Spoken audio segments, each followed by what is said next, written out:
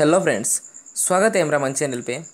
तो फ्रेंड्स, आज की वीडियो में हम लोग बात करेंगे कि 19 सितंबर में सुप्रीम कोर्ट ने जो एनआरसी का क्लेम एंड ऑब्जेक्शन फॉर्म के बारे में जो ऑर्डर दिया है, उसके बाद क्या कोई नया क्लेम फॉर्म या ऑब्जेक्शन फॉर्म आया है? अगर आया है तो हम लोग को वो क्लेम फॉर्म या ऑब्जेक्शन फॉर्म को कहाँ मिलेगा?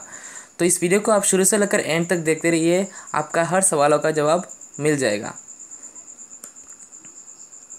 तो फ्रेंड्स वीडियो स्टार्ट करने से पहले मैं आपको बोलना चाहता हूँ कि मेरे चैनल को अभी तक सब्सक्राइब नहीं किया तो प्लीज़ सब्सक्राइब कर लीजिए। सब्सक्राइब करने के बाद आप मेरे चैनल का जो बेल आइकन है उसको भी दबा दीजिए ताकि मैं जो ऐसे वीडियो अपलोड करूँ तो आपको नोटिफिकेशन मिल जाए। इस वीडियो का शुरू से लेकर एंड तक देखते रहिए।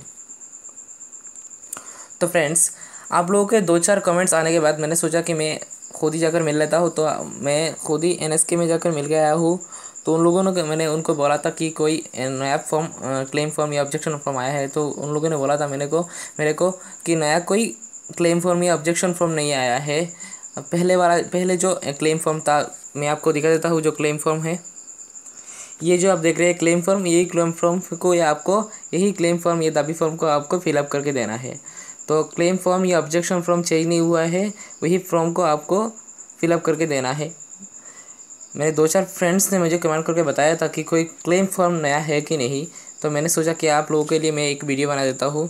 तो इस वीडियो के और कुछ नहीं था, मैंने इसको ही आपको जनाने के लिए मैं वीडियो बना दिया।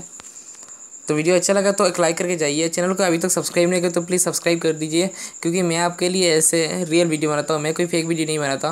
इसलिए मेरे चैनल को सब्सक्राइब करके आप ज़रूर बेलाइकन दबा के रख लीजिए। थैंक्स फॉर वॉचिंग जय हिंद, वंदे मातरम।